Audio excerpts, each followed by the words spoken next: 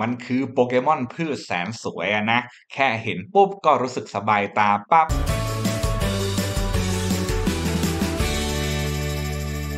สวัสดีครับ ยินดีต้อนรับเข้าสู่มูเก่งแฟนตาซีสำหรับโปเกเด็กในวันนี้ ผมจะเอาสายพันธุ์ของเรเดียมาพูดคุยให้กับทุกคนฟังนะครับ ซึ่งเรเดียก็จะเป็นโปเกมอนพืชที่อยู่ในเจน5ซึ่งเมื่อก่อนผมชอบเล่นมันมากนะ เพราะมันเล่นง่ายดีนะครับผมมี ability c h l o r o p h y l ใช่ไหมแล้วก็พอเราไปยืนกลางแดดมันก็เร็วหน่อยนึง แล้วก็ใช้ท่าธาตุพืชในการโจมตีป้งปังป้งปัง หรือบางทีด้วยความที่เป็นโปเกมอนพืชเนาะก็อาจจะแบบโปรยผงนู่นโปรยผงนี่ใส่อีกฝ่ายหนึ่งไปได้นั่นเองครับแต่ทีนี้ความน่าสนใจก็คือเจ้าเดรเดียนะครับผมยังไม่เคยลองเล่นนะ คือมันมีร่างฮิซุยด้วยครับซึ่งร่างฮิซุยก็อยู่ในภาค Legend Arceus นะครับเออหมายความว่าตัวเดรเดียที่เป็นร่างฮิซุยที่ผมขึ้นภาพให้ดูเนี่ยดูมีความกระชับเนาะและทีนี้พอมาถึงยุคปัจจุบันปุ๊บก็กลายเป็นเรเดียที่มีความน่ารัก มีความเป็นกุลสตรีมากกว่านักสู้ไปแล้วนะครับซึ่งตรงนี้น่าสนใจมากว่าในส่วนของโปรไฟล์มันจะเป็นยังไงมีสตอรี่ที่บ่งบอกหรือเปล่าว่าดั้งเดิมมันเป็นโปเกมอนที่มีรูปร่างแบบนั้นแล้วก็กลายมาเป็นแบบนี้ได้นะซึ่งถ้าท่านผู้ชมพร้อมแล้วเดี๋ยวผมก็จะพาไป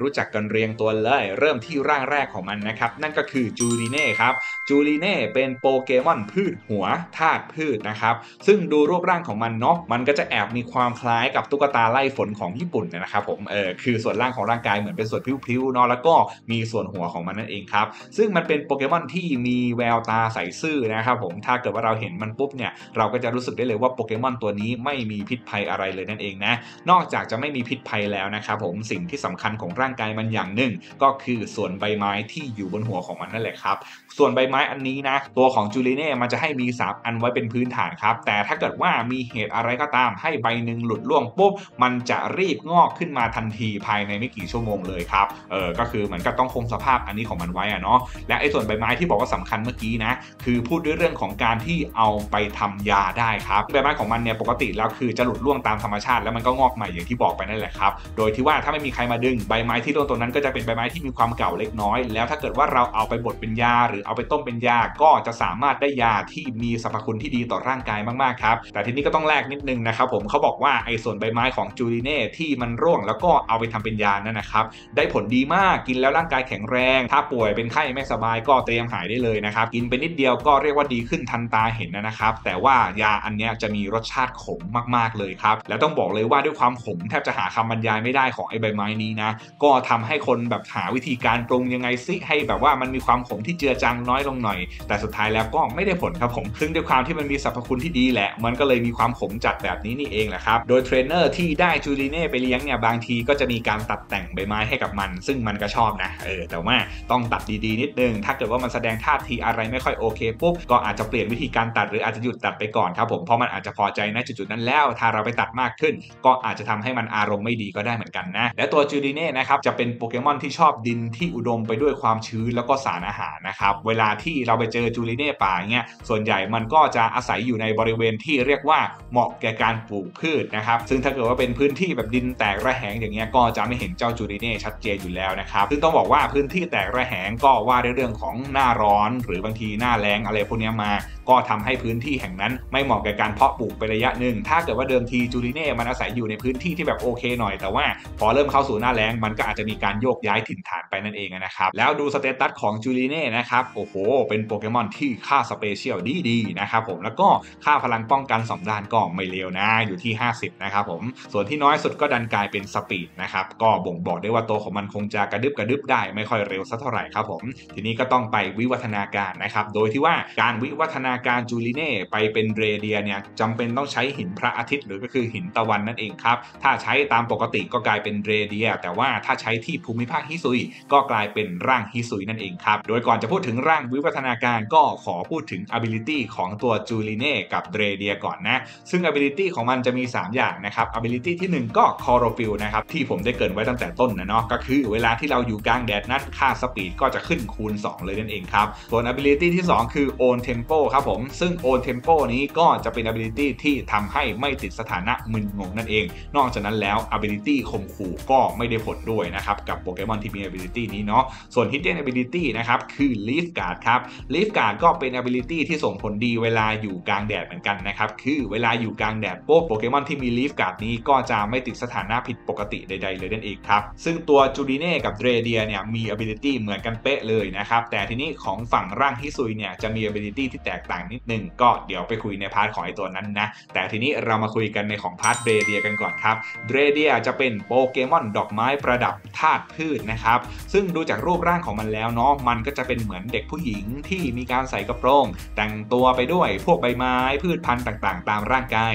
แล้วก็ส่วนหัวของมันจะมีเป็นดอกไม้ด้วยนะครับ ซึ่งแววตาของมันต้องบอกเลยว่ามีความอบอุ่นนะ เวลาที่มองก็จะรู้สึกสบายตามากๆ ยิ่งมององค์รวมของร่างกายของมันนะครับ ยิ่งรู้สึกดีเลย โดยที่สายพันธุ์ของเจ้าเดรเดียรวมถึงจูริเน่ด้วยนะ เป็นโปเกมอนที่มีเฉพาะเพศเมียซะด้วยครับ อะ อันนี้ก็คือโล่งอกนะครับ แหมหน้าตาสะสวยอย่างนี้ อย่าได้มีเพศผู้กันเลยเนาะ ซึ่งพื้นฐานนิสัยของเดรเดียเนี่ย มันก็เป็นโปเกมอนที่ค่อนข้างมีความตื่นตัวนะ มีความ active นะครับ บางทีก็ชอบขยับตัวไปขยับตัวมาเล็กๆน้อยๆยืดเส้นยืดสายเวลาที่แบบอยู่เฉยๆเป็นเวลานานแล้ว ซึ่งเวลาที่มันออกกำลังกายเล็กๆน้อยๆมีการขยับตัวนะครับก็จะทำให้ดอกไม้ที่ประดับอยู่บนหัวของมันนี้ มีการส่งกลิ่นออกมา ซึ่งกลิ่นที่ส่งออกมาจากดอกไม้นี้นะครับมีคุณสมบัติที่ทำให้คนหรือโปเกมอนนั้นรู้สึกว่ามีความผ่อนคลายมากยิ่งขึ้น ซึ่งต้องบอกเลยว่าไอ้ดอกไม้นี้ต้องได้รับการดูแลเป็นอย่างดีนะครับซึ่งสายพันธุ์ของเดรเดียก็น่าสงสารนิดนึงนะครับคือเขาบอกว่าถ้าเกิดว่าเดรเดียที่เป็นโปเกมอนป่ามันสามารถดูแลดอกไม้เนี้ยตามธรรมชาติของมันได้ดี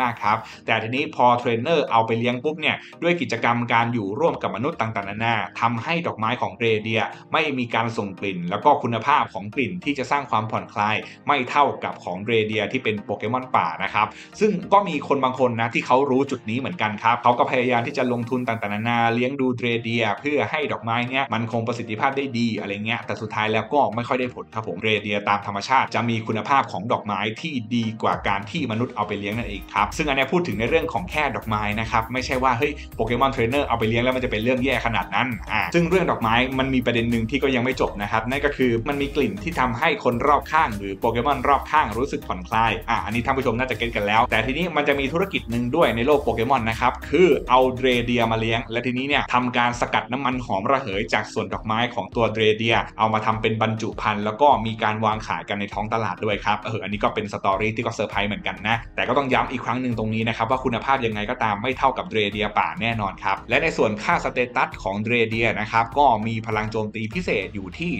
110 นะครับ แล้วก็ค่า speed อยู่ที่ 90 ซึ่งอันนี้สบายสบายครับ ถ้าเกิดว่ายืนในแดดปุ๊บยังไงก็ถือว่ามี speed ที่สูงโคตรๆนะครับผมก็จะมีโอกาสได้โจมตีก่อนค่อนข้างสูง และพลังโจมตีพิเศษของมันขนาดนี้นะเออผมบอกได้เลยว่ายังโหดนะยังโหด นอกจากนั้นแล้วมันก็ยังมีในส่วนของพลังป้องกัน 2 ด้านที่ 75 ซึ่งพลังป้องกันขนาดนี้ก็มีความถึกอยู่พอสมควรกันแล้วกันนะครับ แต่คงไม่ได้ถึกอะไรมากมายขนาดนั้น ถ้าเกิดว่าโดนการโจมตีแพ้ธาตุแบบว่านกโฉบเป็นอย่างเงี้ยก็อาจจะร่วงได้เหมือนกันนะครับผมจบของเรเดียร่างปกติร่างปัจจุบันที่เราได้เห็นกันในโลกโปเกมอนนะ คราวนี้ผมจะพาทุกคนมารู้จักเรเดียที่เป็นร่างฮิซุยกันบ้าง ซึ่งเรเดียร่างฮิซุยก็จะเป็นโปเกมอนดอกไม้ประดับธาตุพืชแล้วก็ธาตุต่อสู้ ซึ่งถามว่าเป็นธาตุพืชกับธาตุต่อสู้มันดีไหมก็ไม่ค่อยดีเท่าไหร่นะครับรู้สึกว่าจากเดิมธาตุพืชที่แพ้แค่5ธาตุคราวนี้จะกลายเป็นแพ้ 6 ธาตุแล้วนะครับ นอกจากนั้นแล้วยังแพ้ธาตุบินคูณ 4 ด้วยแม่เจ้านะเออก็คงต้องไปเลือกกันดีๆ แล้วล่ะว่าถ้าจะเอาเจ้าเดรเดียร่างฮิซุยนี้มาเล่นมันจะโอเคไหมนะครับซึ่งดูจากรูปร่างภายนอกก่อนนะครับเราจะเห็นว่า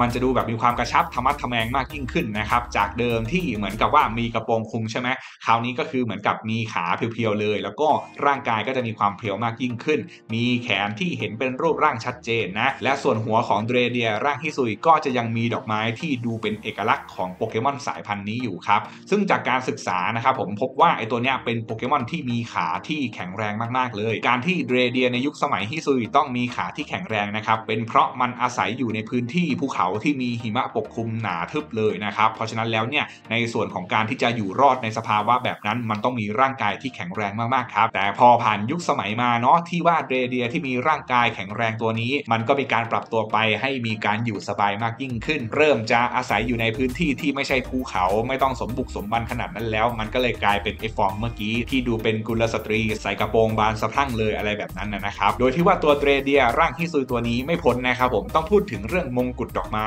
ที่อยู่บนหัวของมันด้วยครับ ซึ่งส่วนนี้เนี่ยจะมีการปล่อยกลิ่นออกมา และก็เป็นกลิ่นที่มีคุณลักษณะเดียวกับของเดรเดียร่างปกตินะคือทำให้อีกฝ่ายหนึ่งรู้สึกผ่อนคลาย รู้สึกสบายใจนะครับซึ่งอันเนี้ยมันส่งผลดีในยามที่สงบครับผมหมายความว่าเวลาที่มันอยู่กับเทรนนเนอร์เวลาที่มันอยู่กับโปเกมอนที่เป็นเพื่อนพ้องกัน ก็จะรู้สึกสบายตาสบายใจ แต่ทีนี้ถ้าเกิดว่ามันไปต่อสู้กับศัตรูกลิ่นเนี้ยมันจะเป็นกลิ่นที่ทำให้อีกฝ่ายหนึ่งรู้สึกวางใจรู้สึกสบายใจ และนำมาซึ่งความประมาทเลยครับผมอ่าซึ่งอันนี้ก็คือสร้างความได้เปรียบทางอ้อมให้กับตัวเดรเดีย เวลาที่มันต้องการต่อสู้กับศัตรูนั่นเองครับตัวของมันเนี่ยถ้าพูดถึงเวลาต่อสู้นะครับหลักๆ ก็คือมันจะมีการเคลื่อนที่ที่เป็นเหมือนการเต้นระบำซึ่งการเต้นระบำของมันนั้นก็ทำให้ศัตรูนั้นสับสนไปอีกขั้นหนึ่งได้นะแล้วตัวของมันมีความสามารถในการที่จะเตะโจมตีศัตรูด้วยขาที่แข็งแรงของมันเป็นอย่างดีครับ เรียกว่าดูมีความเป็นโปเกมอนสาวงามนะครับ แต่มีพละกำลังอันมหาศาลกันเลยทีเดียวเชียวนะ ทีนี้ถ้าดู status ของมันล่ะครับจะทรงพลังขนาดไหนไหมเรเดียที่เป็นร่างฮิซุยนะครับจะเด่นในเรื่องของค่า attack กายภาพนะ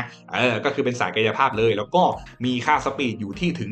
105 นะครับถ้าเกิดว่าไปยืนประจันหน้ากับเดรเดียร่างปกติเนี่ยคือมีความเร็วกว่าแล้วนะครับในวงเล็บว่าถ้ามี ability c h l o r o p h y l l เหมือนกันอะไรแบบนี้เนาะเออซึ่งเดรเดียร่างฮิซุยก็มี ability c h l o r o p h y l l นะ แต่ทีนี้ตัวของเขานะครับจะมี ability ที่เปลี่ยนไปจาก own tempo ที่เป็น ability ที่2เนาะ ability จะกลายเป็น hustle นั่นเองครับ ซึ่ง hustle จะเป็น ability ที่ลดค่าความแม่นยำของตัวเองลง แต่เพิ่มความรุนแรงในการโจมตีที่มากยิ่งขึ้นนั่นเองครับ ดูทรงก็ดูเป็นโปเกมอนที่ส่งเสริมเรื่องของการโจมตีของมันให้มีประสิทธิภาพมาก ๆ เลยนะครับ ก็จะหมดไปนะครับสำหรับข้อมูลของสายพันธุ์เรเดียกับจูดีเน่ครับผม ก็มีกัน 3 ตัวนี้ที่ปรากฏข้อมูลในโปเกเด็กซ์ให้เราได้พูดคุยกันนะถ้าผู้ชมฟังแล้วเป็นยังไงบ้างครับผมขอถามหน่อยว่า ถ้าเป็นเรเดียร่างปกติกับร่างที่เป็นฮิซุยที่แบบดูมีความธรรมะทแมงในการต่อสู้ท่านผู้ชมชอบเรเดียร่างไหนมากกว่า อย่างนี้ก็สามารถคอมเมนต์มาพูดคุยกันได้นะ ซึ่งถ้าส่วนตัวผมนะผมชอบเรเดียร่างฮิซุยครับถึงแม้ตัวเองจะยังไม่เคยเอาไปต่อสู้ไปเล่นจริงจังขนาดนั้นนะ แต่ดูจากโปรไฟล์ดูจากรูปร่างภายนอกแล้ว ผมว่ามันดูมีความเซ็กซี่ในอีกแบบหนึ่งซึ่งไม่ได้เซ็กซี่แบบโป๊จัดขนาดนั้นนะแต่ดูมีความกระชับของร่างกายที่ค่อนข้างโอเค ดูแล้วมีเสน่ห์มากๆครับ ส่วนท่านผู้ชมนะครับผมมีความเห็นยังไงอย่าลืมมาแชร์ในมุมท่านผู้ชมกันด้วยนะ โอเคสำหรับวันนี้ผมก็มีมาพูดคุยให้ฟังเพียงเท่านี้ ถ้าคลิปนี้มีข้อผิดพลาดประการใด ผมก็ขออภัยมาณที่นี้ด้วยนะครับ ดูคลิปนี้ถ้าชอบอย่าลืมกดไลค์กด Subscribe กดแชร์กดกระดิ่ง เป็นกำลังใจให้ผมด้วยนะ และเดี๋ยวไว้พบกันใหม่คลิปหน้า สวัสดีครับ